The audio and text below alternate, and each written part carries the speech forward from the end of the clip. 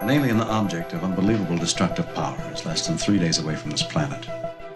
The only starship in interception range is the Enterprise. The cloud is definitely a power field of some kind. You haven't logged a single star hour in two and a half years. Measures. My God. That plus your unfamiliarity with the ship's redesign, in my opinion, sir, we are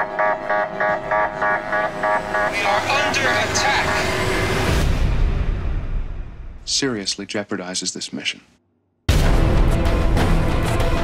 On Vulcan, I began sensing a consciousness from a source more powerful than I have ever encountered.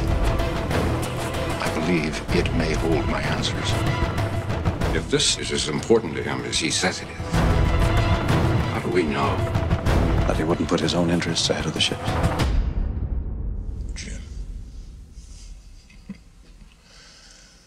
I should have known.